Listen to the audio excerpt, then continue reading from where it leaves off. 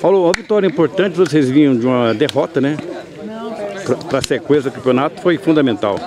Então, eu cheguei hoje aí para fazer parte do elenco. Estou feliz pela vitória, pelo gol, por ter ajudado a equipe e estamos de volta no campeonato. Falaram em gol, que golaço, hein? Você pretendia fazer o que naquele lance? Fazer aquilo mesmo ou não? Sincero, hein? Não, eu pretendi cruzar, né? Mas entrou. O que vale é bola na rede, né? Claro. Você vem de onde? Sou de Valentim Gentil, São Paulo. E como é que foram te achar lá? Vim pelo Março. É. Bom, pelo seu biotipo, é, é daqueles laterais que gostam de, de, de atacar, como é que é seu estilo de jogo? Eu gosto de atacar, cara.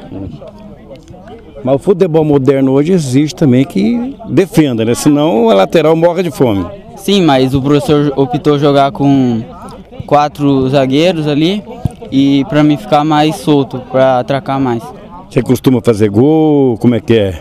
Ou hoje foi um, uma sorte aquele lance? Não, faço, às vezes eu faço uns gols. É? Boa sorte para você. Obrigado. É de... Aí chegando o CRC aqui pela direita. João Vitor, olha o cruzamento, entrou! Gol! João Vitor! Ele cruzou, a bola fez uma curva e morreu no fundo da rede.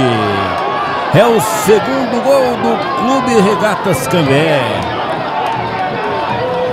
Se cruzou, não sei. É verdade que foi um golaço do João Vitor. 2 a 0 CRC.